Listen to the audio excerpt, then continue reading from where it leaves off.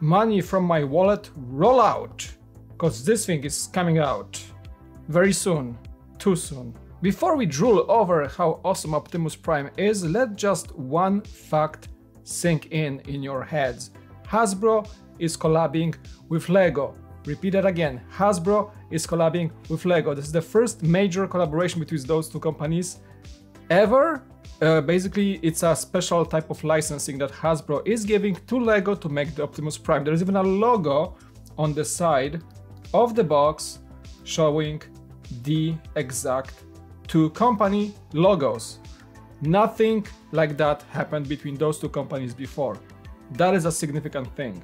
And another major cool fact about this set is that the designer that designed this at LEGO worked previously at Hasbro on Transformers. So basically the best two things could have happened for this set and that's why it's probably so awesome. 170 bucks June 1st release very soon and we have 1508 pieces. If that is a good price tag, probably not because as uh, some early reviews suggest, the set is mostly built using just stacking of your classic bricks. There is not even any special, uh, any specialty elements included in this set. It's mostly because of the simplicity of the Optimus Prime. It's mostly done with classic regular bricks and also the functionality that makes this uh, guy transform into his truck form is uh, kind of requiring the ease and simplicity of typical Lego bricks because it's all kind of cubic fashion. We all know that the set is awesome. What are the drawbacks? No knee joints. That's something that, you know, we can take as a flaw in this set. It has functionality of transform, but no, I guess Lego has some problem with knee joints in most uh, mech looking things, not only that guy, but also Ninjago. Knee joints are just not a thing for Lego for some reason. And I don't know, maybe some people wanted the uh, Michael Bay version of the uh, Optimus Prime, but we're getting the G1 classic Transformers version, which I think is the most iconic and the most recognizable. And again, remember, LEGO is trying to hit those nostalgia vibes to get the most sales of, you know, old school AFOLs. Really enjoying the box art, super clean, super elegant, goes with, goes with the uh, color scheme of the Optimus Prime very well. You can see the head design is pretty darn great. It's really, really well made matching, and even I think the truck form is gonna look great. There's uh, some stickers included, so you know, you may think that, man, that's kind of a cheap move for a collectible historical set of that magnitude. I agree if you say so, plus the price tag, you know, price to piece ratio is not the best, so at least we could have gotten some exclusive prints, but as far as the front of the truck goes, or his belly basically, or the legs, those are clearly stickers, so that's something I'm not a big fan of. I guess that's something we have to live with. As far as accessories go, we have the detachable jetpack and plethora of things that Optimus Prime is using, the Matrix of Leadership, the Energon Cube, Energon Axe, and his Ion Blaster as well. Also a different faceplate, uh, depending if you are a truck version or the Optimus Prime robot version. The plaque itself is interesting because it's different than your typical UCS plaque. It doesn't really list the types of weapons Optimus Prime is using or its role. I mean, it says commander, but you usually get some specs of the actual machine. But here we have sort of an RPG lineup of specs. Strength, intelligence, speed, endurance, rank, courage, firepower, skill. So that could mean two things. It's just LEGO being, you know, extra fun and cheesy about this and just creating this kind of different plaque. Or uh, there's gonna be something in the future that this is gonna, those stats will compare to full Decepticons lineup, full Autobots lineup perhaps, something that we're gonna have and we're gonna be able to play tabletop games with these guys and fight the robots and each other. That would be cool, but I, I, guess I'm just too far stretched kind of theory here. Uh, but nevertheless, it's cool to see a different UCS plug from your typical specifications sheet. The transformation function, as you can see, there is no assembly or disassembly in that case required. It transforms as your typical Transformers Optimus Prime toy should, it resembles all those toys from the 80s, from the 90s that created the G1 Optimus Prime, and I'm all for it. So it's nothing like even if you had with the Voltron, right? You had some remove some parts, move things around and all that. But here everything is thought in a way that uh, it works as a proper transformer. That is something that I think if it wasn't done that way, a lot of the fans would be quite disappointed. And the truck looks good. You know, it's nothing uh, in the likes of a creator expert car or anything like it. but given the compromises required to make it work that way, I think they nailed they nailed it pretty well. You know, you gotta change the faceplate for to have a, a bumper rather than part uh, parts of the Optimus Prime, but that's the only change you have to make really. Everything else just lines up in place.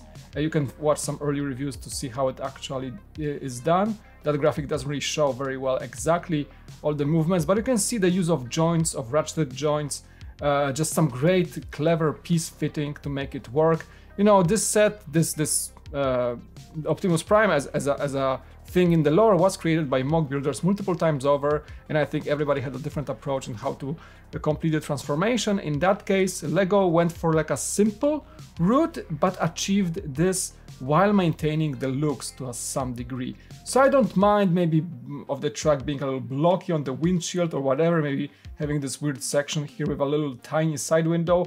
That's okay, it still resembles the track that Optimus Prime transforms to, and I'm all for that. By the way, as I look at this, I believe that might be a sticker. I didn't watch many reviews just yet, so I didn't pay attention that clearly, but I think I don't see any edges.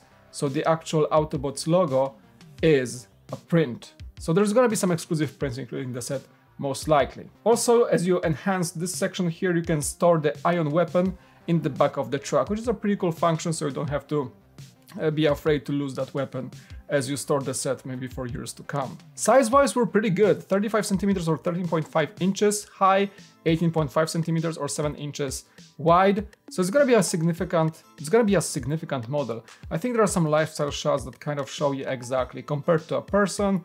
By the way, again, LEGO is trying to kind of recreate the colors of the set with the interior they staged for that shoot, so it's kind of cheesy uh, whatever, but I guess for the overall photo composition it works okay, even the table is kind of resembling the color scheme of the Transformer Optimus Prime. Anyway, it's gonna be a sizable set, so your typical Ninjago mech will probably a little bit smaller than this, so that's okay, and I mean that's supposed it's supposed to be a significant beefy set, it's gonna be a collectible that's gonna be iconic and remembered for years to come. Remember, that is a very iconic and historical collaboration we're speaking of. Love the contemporary art, this one too, even the, this metal cube cubical storage is also resemblant of the color scheme.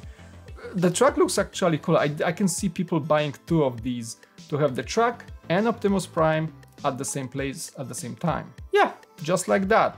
Disclaimer should be like, not a single set, you need to buy two sets to achieve that look, obviously. Ah yes, a slider shot, all the assembly, I'm jealous of this guy again, as always I see them build them early, I'm very jealous what you guys think. Let me know in the comment section below.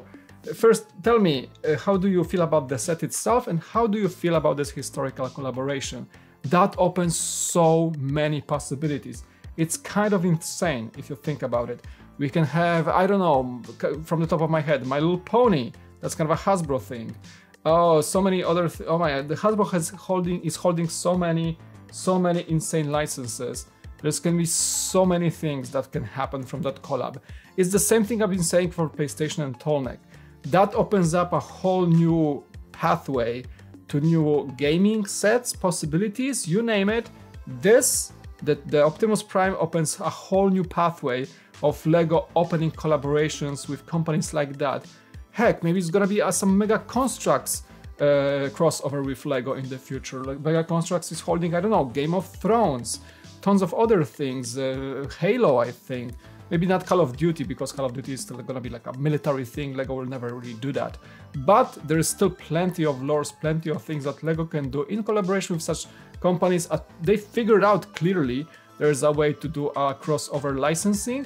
Uh, they might have paid a lot of money for this. We maybe pay that in that little bit, bit of a higher price compared to the piece price to piece ratio. There's a tax to it that is, you know, placed upon customers, but I'm kind of all for that if that means we're gonna be having more lores previously unreachable by LEGO and uh, which will deliver us, the AFOLs, things that we would otherwise have to get from other companies. I'm I'm all for that. I really want to see that happen. There is it can be years of collaboration that's gonna bring more sets that were previously unspoken of, like Optimus Prime. Nobody believed that it would ever happen, so people just relied on MOCs up to this point. Alright, comment section is open below, like, subscribe, you know how this works. Super cool, fun little news coverage, super cool, fun set. Not Not, not small, not cheap, but definitely worth it. Okay, uh, thanks so much for watching. It was Mike, and I'll talk to you very soon. I'll see you in the next one. Peace out. Bye.